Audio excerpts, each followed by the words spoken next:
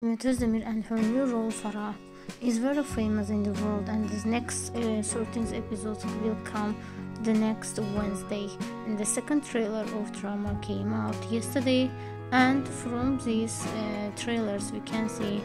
uh, Demet Özdemir's uh, and Engin Akyürek's performance uh, very well. In this video we wanna share with you Demet Özdemir's all scenes that will come uh, in the next episode we know that uh, uh, drama will go to season final in 14 episodes but because of foreign uh, signatures uh, it will last till 26 episodes at least 26 episodes. What will happen next is uh, under the question it will um, depend on the selling of drama uh, drama is selling in many foreign countries, uh, mostly uh, Arabic countries and even Egypt. Uh, drama is about Farah. She fled from Iran to France, then she came to Istanbul, Turkey, and she is trying to help her son. Uh,